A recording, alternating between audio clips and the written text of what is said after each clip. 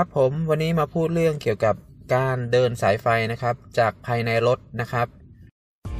คือผมจะเอาสายนะครับ ออกมาจากภายในตัวรถ ก็คือจะไปเอาไฟ ACC นะครับ จะเปิดไฟไฟออนปุ๊บหรือสตาร์ทรถปุ๊บไฟ Daylight ก็จะทำงานอัตโนมัติโดยทันทีนะครับ เดินสายไฟสายเอาเข้าทางไหนนะครับ เพื่อที่ไม่ให้น้ำเข้า อย่างไรบ้าง คอยติดตามกันนะครับ ต่อฟิลลักษณะนี้ด้วยนะครับ